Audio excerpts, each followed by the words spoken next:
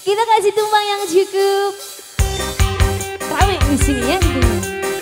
Yang punya tumbang mungkin tetap cantik. Jika ibu yang tidak tahu juga selamat bertugas. Ibu Haja